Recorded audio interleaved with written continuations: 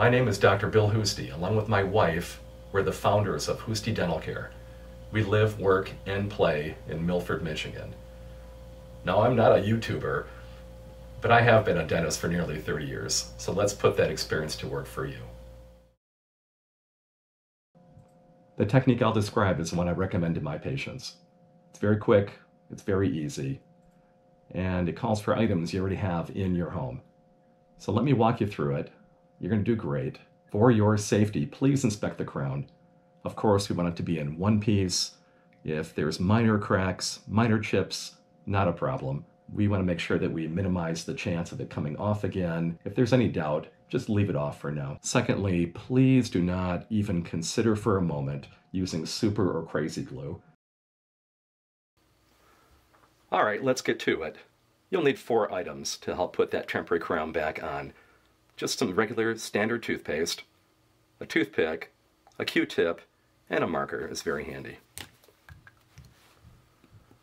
What we're going to do first is practice seating the temporary crown.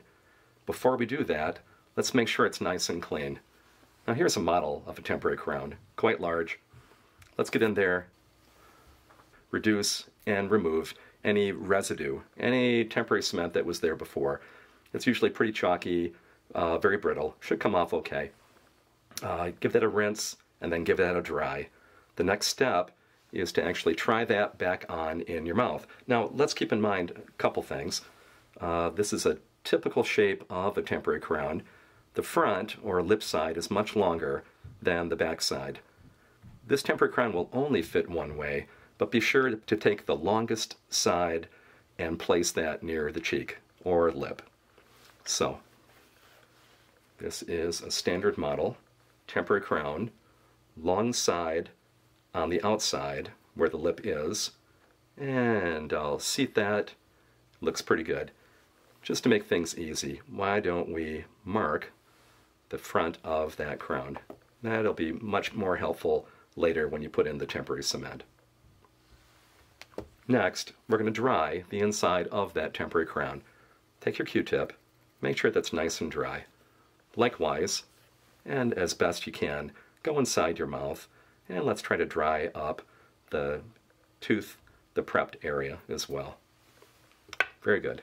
All right, we're ready to put the temporary cement in. And let's take that, just a little dab actually, just a bit. And let's move that around. You can use your toothpick, pretty handy. And make sure to line that.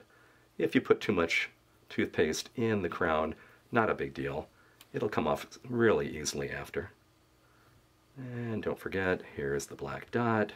Good, we're ready to put that in our mouth. Seat that, push down, and don't forget to double check and verify that it's down all the way. So bite together. That should be a very familiar, comfortable bite. And any excess toothpaste in the area, yeah, just go ahead and let's get that nice and clean. I hope you found this video helpful. The last video I did on this topic was viewed by enough people to fill our University of Michigan's football stadium, so I'm very proud of that. Go Blue. I got a lot of comments, including a request for a written cheat sheet to follow along so I've included a link in the video description below. Also, please ask questions and feel free to comment below as well. I can usually respond fairly quickly. Please know I'm very glad to help you out if I can. Now go enjoy your day and take care.